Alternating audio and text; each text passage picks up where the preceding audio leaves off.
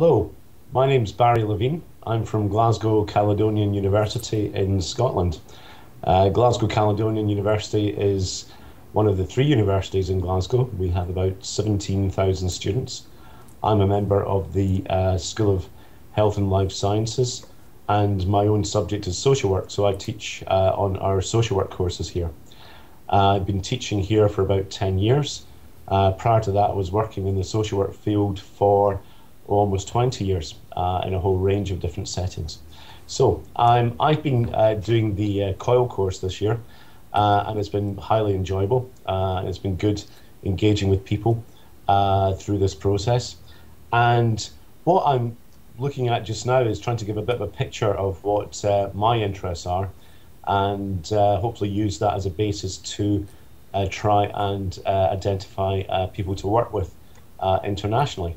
Um, as mentioned, uh, I teach social work here, and we have been developing our international approach uh, with our students. And we have some students who are um, uh, been mobile and gone to uh, other universities in uh, Europe, for example. But uh, this is limited, and the number of opportunities are limited, and we want to maximize the opportunities for our students. Therefore, this approach using online collaboration seems to me to be a really uh, good idea and uh, a good initiative. Um, it fits with some of our teaching approaches here. Uh, we're keen to try and uh, look at approaches like flipping the, the flipping the classroom. Uh, so we're not uh, purely standing talking at students, but engage with students in different ways, more interactively, and get students to engage with other students.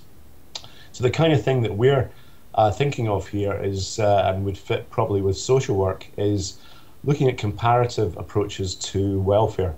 Um, I think uh, allowing students either from our postgraduate or undergraduate courses to work with students uh, elsewhere uh, could be uh, really exciting in allowing them to compare and contrast how uh, different welfare systems operate, uh, compare and contrast responses to social issues, anything from drug use, for example, responses to migration, are just two that kind of you know of come into my mind immediately, which are very current and uh, uh, and live.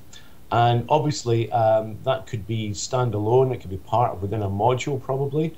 Uh, we run various modules or courses, we call them uh, here, which could fit with this approach. Um, and it could be either uh, as a non-assessed component or even potentially longer term as part of uh, an assessed component within a module. That's very much open to discussion. So I think uh, in terms of what uh, would be good from our point of view would be to try and identify uh, people out there, uh, possibly from the social work field, and that would that would fit well. But it could be from other fields like sociology, history, other approaches too, um, to uh, discuss the uh, possibilities. in that respect, our students are fairly monolingual uh, in the sense that they speak English uh, quite well. Um, although it is Glasgow and people do spend to speak, tend to speak very quickly here, so please tell us to slow down. Um, but probably we're looking at um, uh, other other locations where English is the uh, is is spoken. I think to try and engage with uh, other places where English was not one of the kind of main teaching mediums, I think could be problematic and could uh, slow things down. So that's probably one of the only stipulations that we would have is uh, trying to uh, look at that kind of you know sort of uh, response. So maybe that's enough from me just now, uh, which gives a bit of a picture of what we do here.